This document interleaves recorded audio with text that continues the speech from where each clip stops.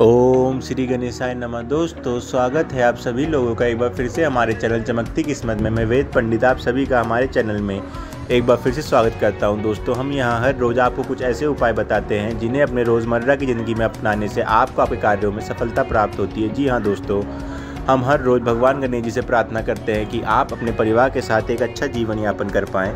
आज हम आपको मधुमक्खी के छत्ते से जुड़ा एक बेहद सरल टोटका बताने जा रहे हैं, यह करने से आपके पास इतना धन आएगा, इतना धन आएगा, चारों दिशाओं से कि आपको पता नहीं चलेगा कहाँ से आ रहा है और कितना आ रहा है। जी हाँ। लेकिन जिससे पहले हम आगे बढ़े, हम आपसे कहना चाहेंगे, यदि आप पहली बार हमारे चैनल चमकती किस्मत पे आएँ तो हमारे चैनल को सब्सक्राइब करें, वीडियो को लाइक करें, कमेंट करें और ज़्यादा से ज़्यादा लोगों को शेयर करें, जिससे जिनको भी इन उपायों की ज़रूरत है, वह भी इनका लाभ उठा सकें। दोस्तों, अब हमने विषय पर पुनः वापस आते हैं। दोस्तों, मधुमक्खी कोई आम कीड़ा नहीं है या जानवर नहीं है। जी हाँ मधुमक्खी को माता का एक स्वरूप माना गया है। एक बार माता रानी ने ब्राह्मणी रूप धारण किया था, ब्राह्मणी रूप धारण किया था।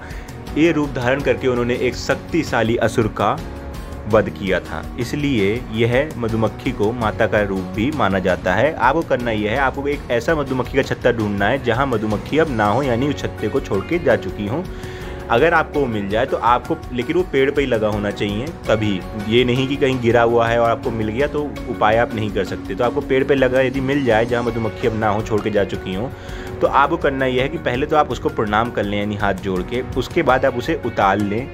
उतार के लाने का उसे अपने आप घर में ले आएँ और गंगा जल छिड़क के एक दिन के लिए अपने मंदिर में रख दें। उसके बाद दोस्तों, आपको एक चांदी का ताबीज़ बनाना है। उसमें एक, उसका छोटा सा टुकड़ा मधुमक्खी के छत्ते का जो है डाल देना है, उसके बाद ताबीज़ को बंद कर देना है और फिर आप उसे अपने गले में पहन लें। अब हम आपको बताना चाहेंगे कि यह उन लोगों के लिए भी बेहद अच्छा है जो पढ़ाई करते हैं। इसे सरस्वती माता का भी आशीर्वाद प्राप्त होता है गणेश जी का भी।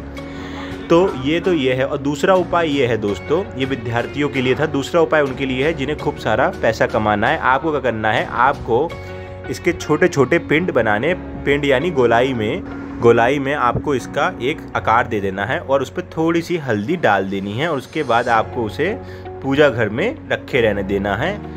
आप देखेंगे दोस्तों, आपके इतने मार्ग खुलने लगेंगे धन आने के कि आपको खुद को विश्वास नहीं होगा। ऐसा लगेगा जैसे आप कोई सपना देख रहे हैं, लेकिन यह सपना नहीं होगा, हकीकत होगी। क्यों? क्योंकि यह उपाय यह उपाय है और यह बेहद कारगर है। लेकिन याद रखिएगा, यह उपाय भी आप किसी को बताएँ ना कि आप कभी बताने लगे सबको कि भाई मैंने ऐसा किया था और मेरे पास ये ऐसा धन आ गया। नहीं। यह सब उपाय तभी फलीभूत हो पाते हैं जब इन्हें गुप्त रखा जाए। इसलिए आप इन्हें अपने तक ही सीमित रखें और किसी को बताने की गलती ना करें। और दोस्तों, आप इसकी सच जो है, हर दिन जब वैसे आप अपने मंदिर में भगवान माता रानी की पूजा करते हैं, इसकी भी करते रहें। आप देखेंगे, आपके पास धन बना रहेगा नए नए रास्ते खुलेंगे और आपका जीवन इतना खुशियों से भर जाएगा कि आपने कभी सपने में भी नहीं सोचा होगा। आप अपने कर्म करते रहिए, क्योंकि कर्म ही प्रधान है। बाकी फल भगवान माता रानी को देना है, जो आपको निश्चित रूप से मिलेगा, जब आप कर्म करेंगे और ये उपाय करेंगे। अगर आपको हमारी वीडियोस में दी गई जानकारी अच्छी लगी हो दोस्तों तो हमारे चैनल चमकती किस्मत को सब्सक्राइब करें। धन्यवाद।